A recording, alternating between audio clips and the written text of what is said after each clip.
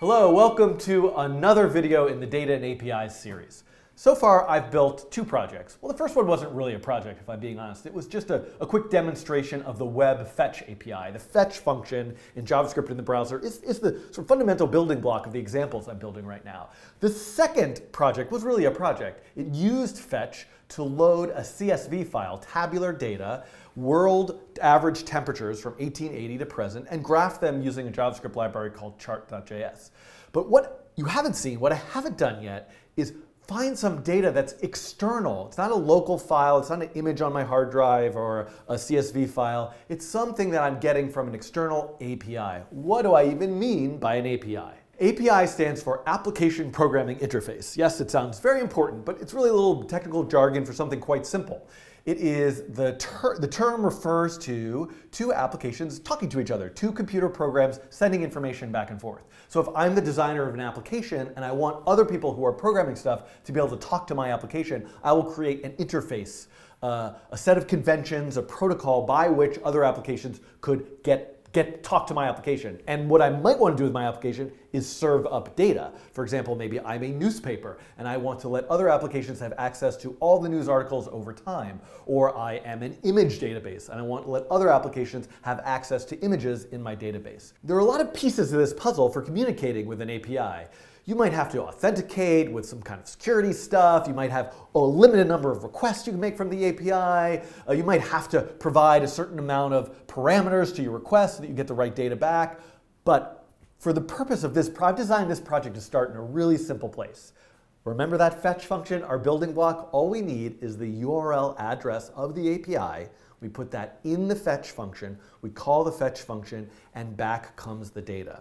The API that I'm going to use to demonstrate this is at a website called wheretheiss.at. It's an API that gives you back the current location in latitude and longitude of the International Space Station. It actually gives you a lot of other information besides just the latitude and longitude. It gives you the altitude, the velocity, uh, the visibility, what time it is, where the sun is, all sorts of stuff. I want to do just one thing. I just want to get the latitude and longitude, display it on the web page. Then I also want to plot that point on a map.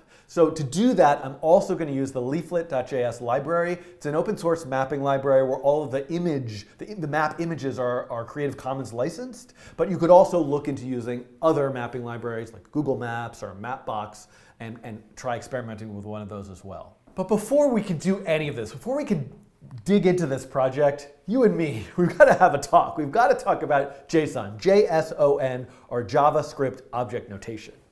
The good news, if you're here already, you're probably familiar somewhat with JavaScript. After all, it's kind of a requirement to be in this video series already. It's fine if you're a beginner, and I have other resources for people who are just learning JavaScript to kind of get up to speed. But right here, right now, you should be familiar with the basic idea of JavaScript. And you've hopefully then maybe written some code like this. Like maybe you wrote some code once that said, uh, let pos, like I'm going to create a variable like pos for position, it's going to have open curly bracket, close curly bracket, maybe a semicolon. And then I'm going to put two properties inside of this JavaScript object literal, like lat for latitude, colon, and lon for longitude, colon. Latitude is between negative 90 and 90, so let's like pick negative 45, comma longitude is some other number. Let's pick 112, just picking this randomly. And here I have a JavaScript object, a JavaScript object literal.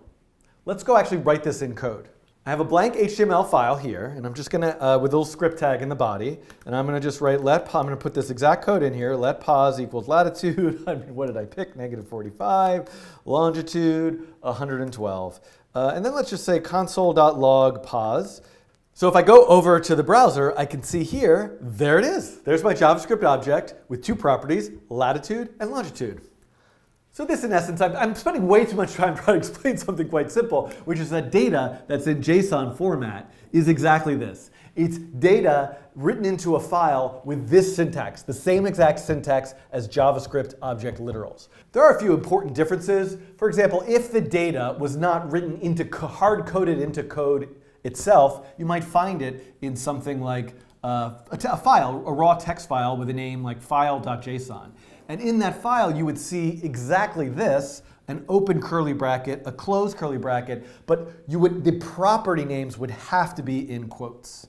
So latitude would have quotes around it, longitude would have quotes around it. These numbers could be without quotes, they would look like this. And so this could actually be the contents of a JSON file itself. Now what's in this file can be much more sophisticated than just two named properties, two numbers with the keys lat and lon. There could be a property that is actually an array of a list of things. There could be a property that's another object with, a, with several other properties where, which has an array in it. This can be a nested tree structure of data. Now, I don't want to go too far down that road. We'll get there eventually. I just want to do the very basics here. I want to reach out to an external API, ask for some data, that data will come as a in JSON format. I want to extract the values of certain properties and do something with them. And the where the ISS at API is a really nice place for us to start.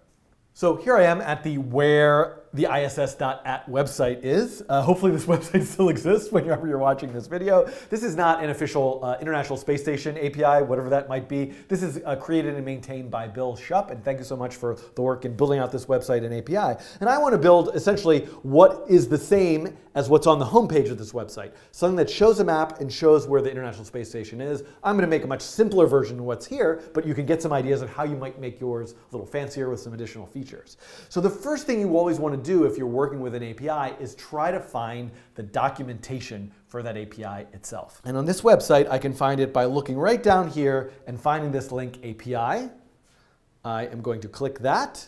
And now here I am, I'm at the where the ISS at REST API documentation. In a future video, I'll talk about what that REST API means. And in fact, I have a project that's gonna come in this playlist where we'll build our own REST API. In short, you can think of REST as a particular convention and style for how an API is designed and it works.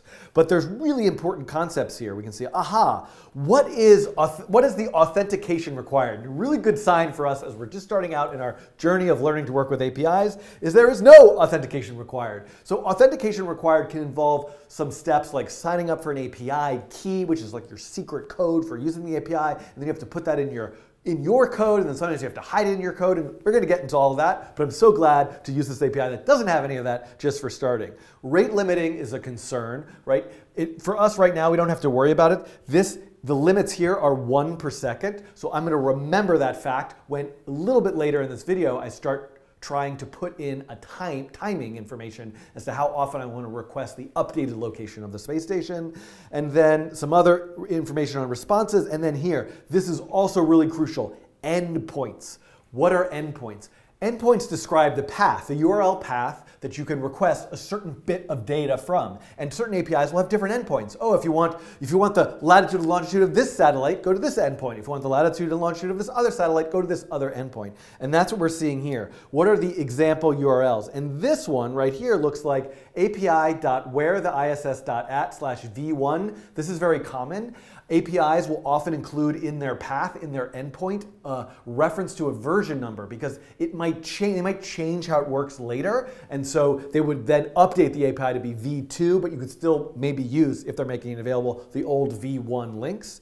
But rather than explain this too much more, I can actually just copy this URL and go right here, paste it into the browser, and we can see, ah, look, this is a list of all the available satellites. Well, this is a very simple API. It just makes one thing available, the International Space Station, and that's its ID number. Why do I care about that? Well, the ID number also signifies another endpoint where I can get more information about this specific satellite. And if I kept going down this page, I would look down and see like, oh, right here. For example, if I know the ID of a given satellite, I can then go to slash satellites slash that ID number. I do that.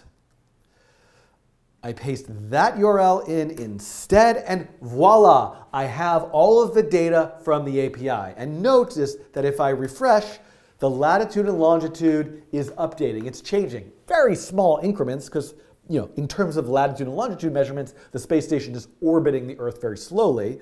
But, um, but those numbers are updated every time I refresh the API. You might also notice this raw parsed button up here. You might not see this in your browser if you're following this along exactly. Yours might look just like this. So this is typically what raw JSON data looks like. It doesn't have line breaks and spaces and tabs in it. Why should it? It's for computers to send data back and forth. But I have a Chrome extension a browser extension for the Chrome browser that parses and gives syntax highlighting and line breaks and lets it be foldable and all sorts of things. So if you there's an ample number of these if you search, you know, browser extension JSON formatter, you'll find bunch, a bunch, but I will include a link in this video's description to the one that I'm using right now.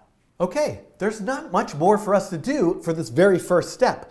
I just need to remember this endpoint, this URL path to the API itself. I'm going to go into my code. I don't need this thing anymore, and I'm going to use the fetch function. So I want to just start by writing an async function called getData. That way I can just use the await, await keywords right from the outset. And I always forget to say uh, function. And let's call this uh, getISS. And then I'm going to say uh, const response equals await fetch, and then what do I want to fetch? That particular URL. Ah. But I don't love this. I think it would make much more sense for me to just store in a kind of global variable the URL to the API, and maybe I might even want to call that API URL or ISS API, ISS API URL or something like that, and then I can just put it in here in the fetch function itself.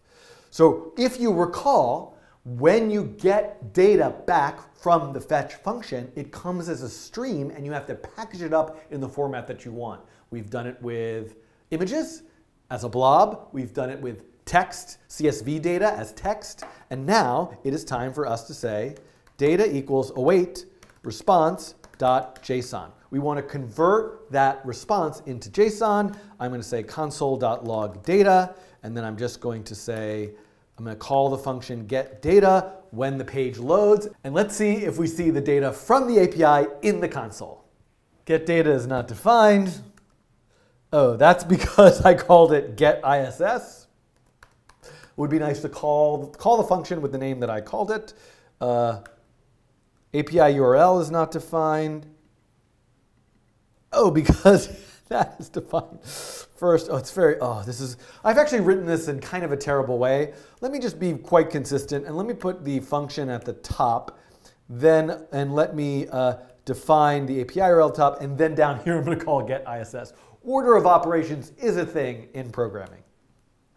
There we go. Look, and now I have that data logged into the console. So let's say I want to pull out specifically just the latitude or just the longitude.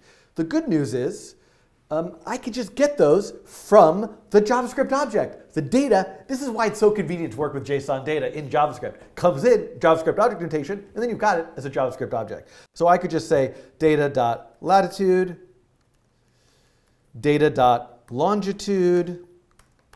If I want to, um, if I want to just log just those bits of data, and we can see there they are right there. Then I can also do this fancy thing called JavaScript destructuring, which basically takes the pieces out of a JavaScript object or an array and puts them into separate variables. So I can just do this. If I say const latitude in an object, latitude comma longitude equals data, then that will give me the latitude and the longitude in separate variables. There they are again. So what do I want to do? Maybe what I want to do is actually on the web page itself, is I want to create a header saying, uh, you know, international, where the ISS, where is the ISS? Then I'll make that a header tag, then I'll make a paragraph tag and I'll say the latitude, or I'll just, let me just say latitude span ID equals lat lat, and then I will add a line break, and then I will say, uh, do the exact same thing, but with longitude, and I'll say span ID equals long, and then what I'll do is I will say document.get element by ID lat dot text content equals latitude, and I'll do the same exact thing with the longitude and if I go back now, there we go. Look at that. There it is. The latitude and longitude, and every time I refresh this page, I'm getting the new values. I have now successfully used the fetch function to retrieve data from an API, from, from a particular endpoint of an API. There's the endpoint. I take that stuff that I get back, I convert it into JSON, I destructure the data out into two separate variables, latitude and longitude, and then I take that data and redisplay it into an element on the web page itself. Woohoo! All right, this is actually kind of almost done, but there are two really big things that I want to do to this. Number one is I want to be able to take the latitude and longitude and plot it onto a map. So in the next video, I'm going to do just that with leaflet.js the JavaScript mapping library. But before I get there, there's, there's another thing that I want to do, which I'll come back and do at the end, but you might want to even try it as an exercise right now. How could I have, after a certain amount of time, the web page take it upon itself to go and request updated data and update those span elements on the web page itself? One way to do that is with using a function called set interval. And I'll come back and add this to this program, but that's something you could try now as an exercise. And something else you might try is just, well, what if you want to also add velocity to this? Or maybe go and find a different API with an endpoint that you can retrieve some data from and redisplay it on the web page. Just watch out for all of the authentication stuff. If the API you find requires authentication, you might have to do some funny business with an API key or some type of login before you can access that data. All right, thanks for watching. I'll see you in the next part where we'll get that map happening here on the web page.